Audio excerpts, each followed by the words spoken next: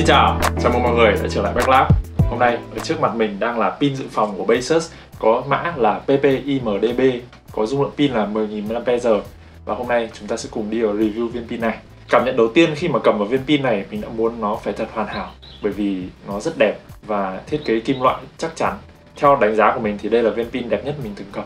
Tuy nhiên là nó cũng có một cái trọng lượng cũng đáng nể theo những công bố của nhà sản xuất thì nó có trọng lượng là 238g ở cạnh trên của pin dự phòng chúng ta sẽ thấy có các cổng như sau. Thứ nhất là cổng Type-C sạc đầu ra đầu vào, cổng Lightning. Đây là pin dự phòng mà có sạc đầu vào cổng Lightning đầu tiên mình từng trên tay. Và mình cho đây là một tính năng rất là hữu ích dành cho những người sở hữu iPhone là các bạn không phải mang đi hai dây sạc để sạc cho pin dự phòng và sạc cho iPhone. Đây là cổng micro USB sạc đầu vào. Đây là hai cổng USB-A sạc đầu ra. Ở bên cạnh trái là nút nguồn và chúng ta có thể biết được vị trí của nút ở đâu nhờ cái thiết kế hơi lõm xuống của nó. Ở cạnh dưới này sẽ hiển thị các thông tin về hiệu năng. Ở mặt trước chúng ta sẽ thấy con số 22,5W. Đây là tiêu điểm trong quảng cáo của nhà sản xuất bởi vì họ muốn nhấn mạnh cái khả năng có thể sạc được theo hệ SCP đến 22,5W. Phần màn hình hiển thị của viên pin này là điểm mà mình cho là đáng giá nhất. Bấm một lần thì nó cho chúng ta biết dung lượng pin. Bấm lần thứ hai thì cho chúng ta biết volt. Bấm lần thứ ba cho chúng ta biết dòng điện. Và khi mà sạc đầu ra đầu vào thì nếu mà là sạc đầu ra thì nó sẽ hiện chữ out bé bé ở bên này. Còn nếu là sạc đầu vào thì nó sẽ hiện chữ in. Và nhờ cái tính năng là hiển thị volt và ampere, chúng ta sẽ biết được là chúng ta có đang sạc nhanh cho các thiết bị hay không, hay là thiết bị này của chúng ta có đang được sạc nhanh hay không. Mình nghĩ là tất cả những pin dự phòng ở trên thị trường nên trang bị một cái màn hình hiển thị được những thông tin cơ bản như thế này. Bất kể là ở mức giá nào, bởi vì viên pin này với mức giá 270.000 của nó thì cũng không phải là quá đắt và cũng như mọi viên pin khác thì ở phía dưới này là chứa viên pin. Còn ở phía trên này là chứa bo mạch. Tuy nhiên là cái màn hình này không phải là bằng kính nhé, nó chỉ bằng nhựa thôi các bạn ạ. Ở trong hộp sản phẩm thì Basis có cho chúng ta thêm một cái túi đựng. Và theo mình đánh giá thì đây là túi đựng dày nhất của các viên pin của Basis mà mình từng mua.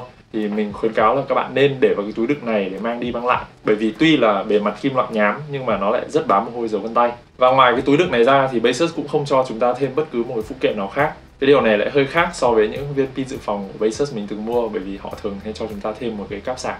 Trước khi đi vào phần hiệu năng thì mình sẽ cho các bạn xem xem là viên pin này phù hợp với những hệ sạc nào nhé.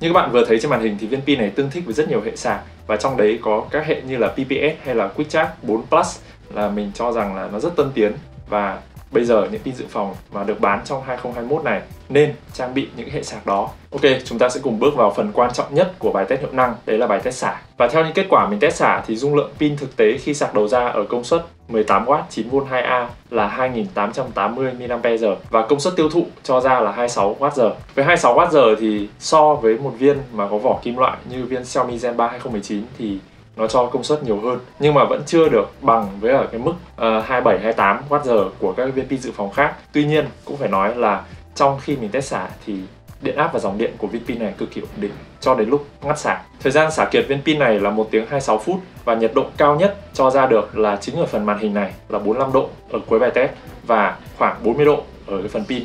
Tuy nhiên cũng là ở phần bo mạch nhưng ở phần kim loại này thì nhiệt độ rơi vào khoảng 41 đến 42 độ thôi, không cao như cái mặt nhựa này.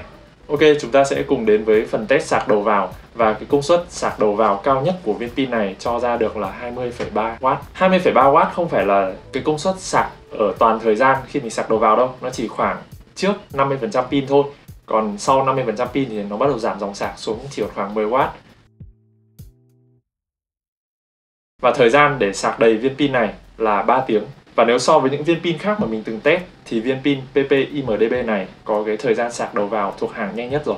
Ở trên kênh của mình đã có bạn từng comment là bạn ấy muốn biết công suất tiêu thụ khi sạc đầu vào và dung lượng pin khi sạc đầu vào. Cái thông số này thì bản thân mình vẫn chưa nghĩ ra được cái giá trị của nó. Tuy nhiên là nếu mà các bạn quan tâm ấy, thì các bạn có thể đặt yêu cầu cho mình để mình thêm cái yếu tố này vào trong video. Và như các bạn đã thấy ở trong cái ảnh mình vừa cho các bạn xem thời gian sạc đầu vào là bao lâu mới đầy pin ấy thì mình có để những cái thông số ở trên và công suất tiêu thụ và bên cạnh đó là dung lượng pin khi sạc đầu vào. Và nhiệt độ cao nhất mình đo được khi sạc đầu vào viên pin dự phòng này là 37 độ ở phần bo mạch và 34 độ ở phần pin. Ở bài test hiệu năng này thì mình cũng muốn nói thêm là ở các cổng như là cổng Lightning, Micro USB và USB-C đều cho công suất sạc đầu vào tương đương nhau, nghĩa là khoảng 20W. Basis có nói ở trên hộp của họ ở cạnh bên phải là nó có 3 cổng sạc đầu ra đầu vào thì nó đã đáp ứng nhé và nó có thể sạc nhanh ở cả hai đường, nghĩa là cả output và input nó đều sạc nhanh với cái công nghệ như nhau. Và cuối cùng nó tương thích với nhiều hệ sạc cũng là phù hợp với nhà sản xuất quảng cáo. Và chúng ta sẽ đến với phần tiếp theo của bài test hiệu năng, đấy là test sạc đồng thời tất cả các cổng. Thì như công bố của nhà sản xuất thì sạc đồng thời tất cả các cổng chỉ đạt được công suất là 5V 3 thôi. Và đấy là tổng cộng tất cả các cổng nhé. Và khi mà mình test sạc đồng thời cả hai cổng và sạc đồng thời cả ba cổng thì công suất cho ra đều ở khoảng 15W và rất ổn định. Tuy nhiên là ở hệ sạc SCP thì lại không được như nhà sản xuất công bố. Họ nói là viên pin này có thể sạc được 22,5W cho các máy Huawei. Tuy nhiên là khi mình kéo dòng lên quá 20W thì nó đã tự ngắt sạc. Và nếu mà mình sạc đầu ra ở hệ SCP ở 18 và 19W thì nó cũng sẽ tự ngắt sạc sau một thời gian chỉ có sạc ở cái tầm 17W ấy, thì nó bắt đầu ổn định. Hầu hết những cái viên pin mà mình test theo hệ SCP hay là VOC thì đều có một cái hiện tượng như vậy. Mà trong khi đó những cái củ sạc mà có hỗ trợ hệ SCP hay là VOOC thì mình test lại không có hiện tượng đó. Nhưng mà mình thấy là nhà sản xuất không nên để 22,5W để rồi người dùng mang về chỉ sạc được khoảng 17W họ nói luôn là sạc SCP chỉ khoảng 17W thôi thì cũng có vấn đề gì đâu. Với những cái reviewer như mình này thì mình cũng sẽ có những bài test so sánh giữa 2,5W và 17W nó chênh nhau bao nhiêu phút? Và mình đã có cái bài test đấy rồi và nó chỉ chênh nhau khoảng 5-10 phút thôi.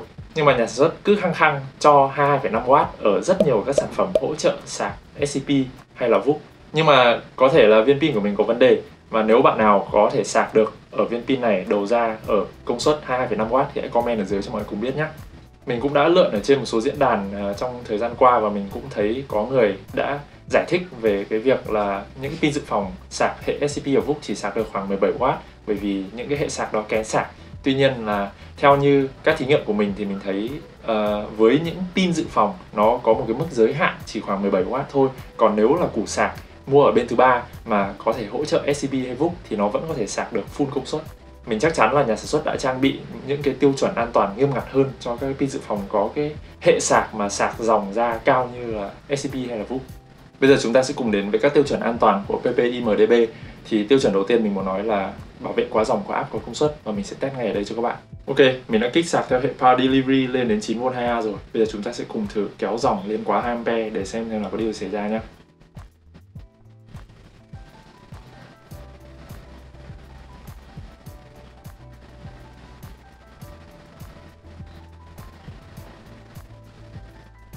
Ồ, oh, Viên pin dự phòng này đã tự hạ áp xuống để công suất không quá được 20W và ngắt sạc ở khoảng 16W. Rất là thú vị. Ok, chúng ta sẽ cùng đến với bài test thứ hai là bảo vệ đoàn mạch.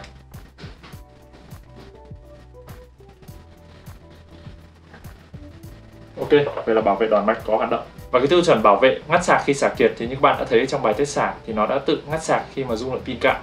Còn tiêu chuẩn ngắt sạc, đầu vào khi pin dự phòng đầy thì PPIMDB này đạt ở tất cả các cổng sạc đầu vào. Đến với tiêu chuẩn an toàn tiếp theo, đấy là ngắt sạc đầu ra khi mà thiết bị được sạc đầy thì mình thấy ở hai cổng USB-A thì pin dự phòng này đã tự ngắt hẳn nguồn sạc.